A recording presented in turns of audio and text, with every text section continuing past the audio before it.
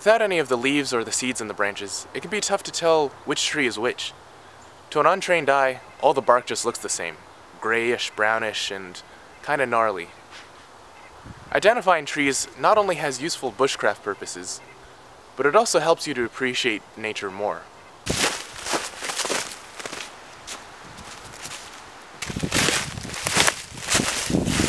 Let's start with one of the more distinct trees in this forest, the beech. I've mentioned this in the show before, but you can clearly identify it because of the smooth, thin bark. Some other identifying factors in winter include the leaves and the buds. If you take a look, it's got these long cigar-shaped buds. And of course, the leaves are brilliant in the winter.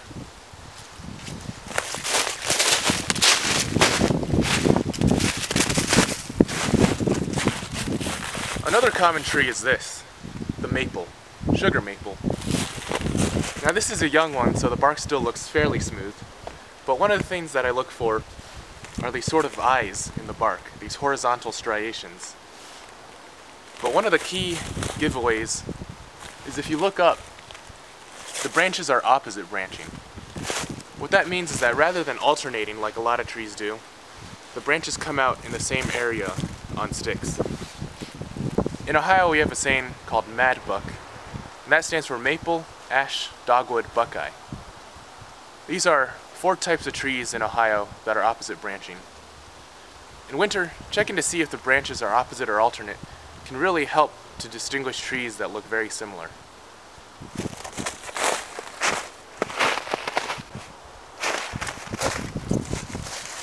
Now this here is another maple. Even though the bark looks really different, it's the same species, Acer saccharum.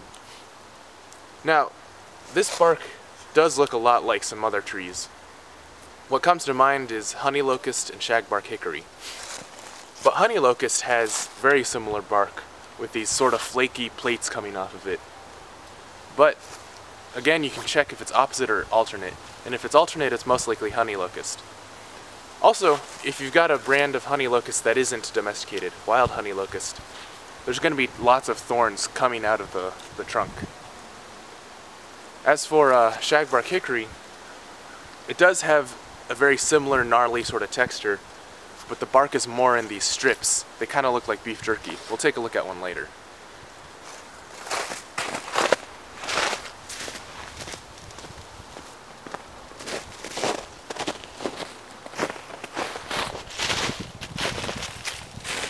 Wouldn't really call it a tree, but I might as well point this out as well. This is spice bush, another thing you've seen in some of the shows. And in the winter, without any of its distinctive leaves, what gives it away are these berries. And of course, you can always do a check before you use it for tea or flavoring. You just peel the bark, and it has a very fragrant, sort of sweet smell. It's great.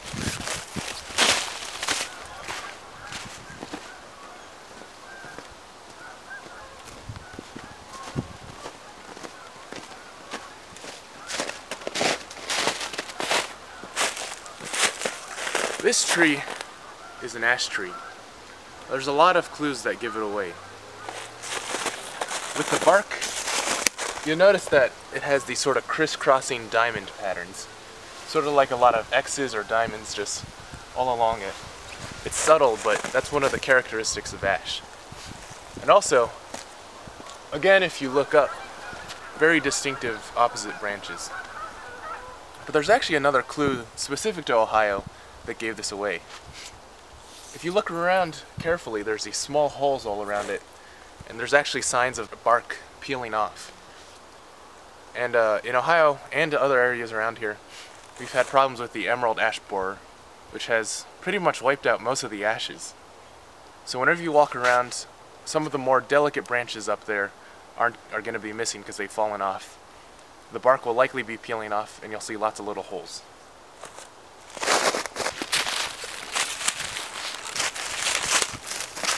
It's a bit tough to get to, this one, but uh,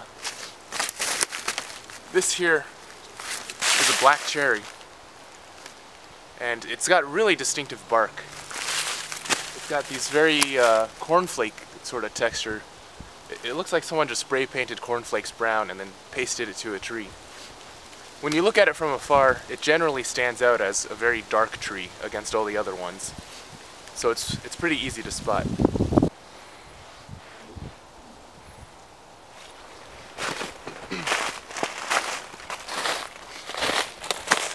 Can you guess what this is? It's not black snow, and it's not charred leaves either. It's actually a fungus called Scorias spongiosa. Now in, in the spring and the summer, you'll see a lot of these little dancing white fluffy things on these beech trees. And what those are are woolly aphids. And they feed off of the sap in the tree, and they excrete a sweet honeydew. And this fungus attaches specifically to that excrement and grows on these beeches. Luckily, I don't think it does any real harm to the tree, so it's just an interesting sight.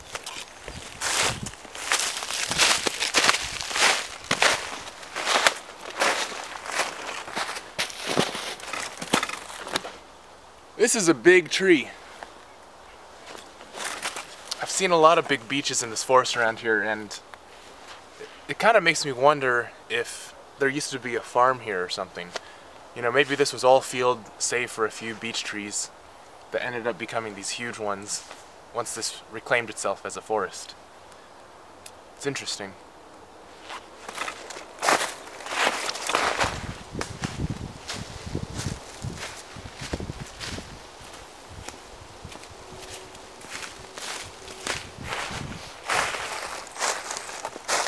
Now this one here looks to me like hop hornbeam. It's called that because its seeds are arranged like a, uh, almost like grapes, but they're flat. They look like hops that you use in beer, basically. Now the bark has these very, very distinct striations on it that just run all along the bark. And while they have these distinct striations, the bark is very two-dimensional. In other words, it's flat. There's not ridges that jut out like some of the other trees. Now, at a glance, this bark might resemble white oak or silver maple, but those are more three-dimensional, and they usually don't look like this on trees this small. It also sort of resembles elm, but once again, elm is more three-dimensional. And uh, what it looks like the most to me is honeysuckle, which is an invasive plant. But honeysuckle, you can tell, is uh, not this because honeysuckle have bent branches with more and more bent branches coming out of it. That and its opposite branching.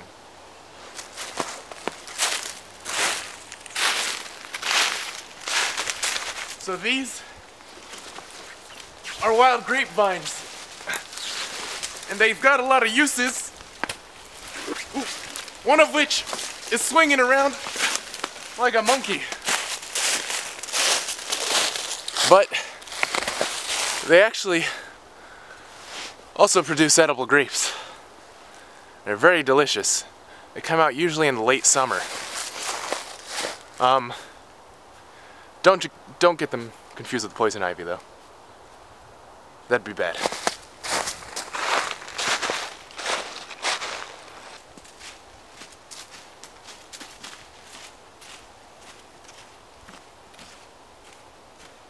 Is undoubtedly one of Austin Powers' favorite trees, the shagbark hickory.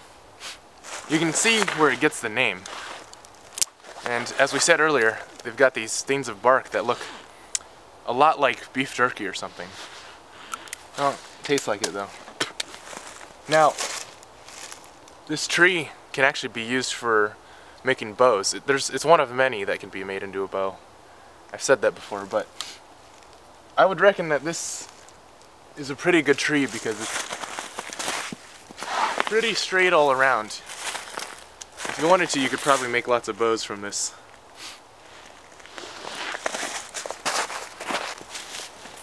Now this tree here is an elm. And at first it's kind of hard to tell what it is. It's got these very long striations, similar to the hop hornbeam, or maybe to a young ash. It looks a lot like a young ash. Now, what I look for is the sort of three-dimensional characteristic it has. when you look closely at the bark, it looks like different layers of two-dimensional things have been stacked on top of each other. I don't know how exactly to describe it, but it's almost like terraces in the bark. Now, another way to tell this bark from other barks is if you press on it. It's very soft like styrofoam. An ash tree or something else will not uh, will not be this soft. Elm, the bark is great for cordage and stuff because it's very flexible. And it can also be used to make bows. And actually my first bow was an elm bow. I actually used a tree, it was straighter than this obviously, but it was actually thinner. But I tried making a second with very similar thickness and that didn't work because that was a tree that had grown a lot in a few years. So there were less growth rings and it was less structurally stable. But it's a fantastic, fantastic wood for bows.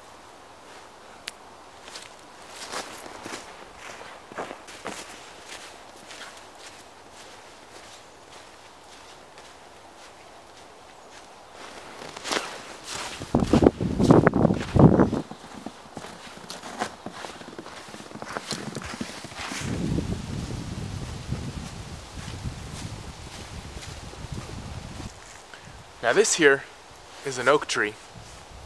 To be honest, I'm not very good at differentiating one oak from the other. The ones that I really do know are white oak, scarlet oak, and uh, bur oak. I'd say that this one is a some sort of scarlet or red oak or one of those. And one of the basic ways you can tell white from red is uh, white oak will have rounded lobes, whereas red oak have these sharp needled points on the leaves. Something I look for with this sort of oak tree, this doesn't apply to uh, white oak or some other oaks, but I look for the sort of lighter color, these like large striations that are wide and flat and a lighter color. It looks, it's hard to describe, but it's like, it's got ridges but it doesn't look too three-dimensional. It doesn't look like it's very deep. So that's how I tend to spot an oak. You know, it's it's funny because when you learn to identify trees in the winter by the bark, it's actually it's it's really a useful skill because you start noticing all these subtle differences that you might not have noticed before. You know, identifying them by leaves can be quite easy because they're very different from each other. But identifying it by bark helps you to see these subtler differences, especially in trees that look really similar.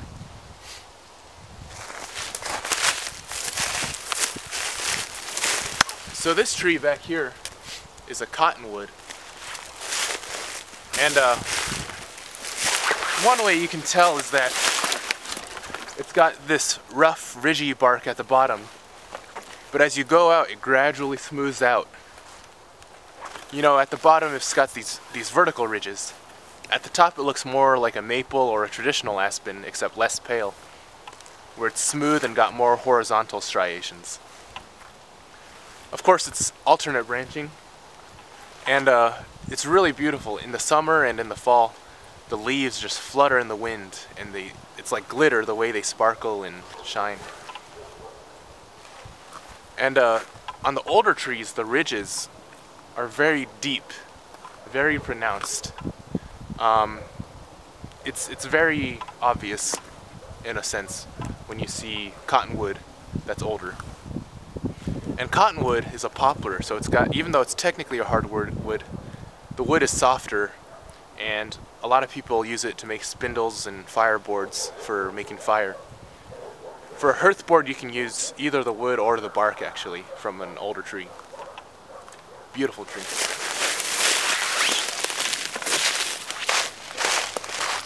You know, I just wanted to add, maple trees are really dear to me. As a kid, that's pretty much the only tree that was in my yard. There were a few others. But uh, more recently, in the early spring, you can tap these trees for syrup, and, and I did it for the first time this past year. And it's really just, it's brilliant. You can tap it and the sap will flow out and you can drink it. And it's like this very delicious natural sweet water. And of course you can boil that down to a syrup. And it's just, having real maple syrup that you tapped on your own is a fantastic experience. Another one of my favorite trees.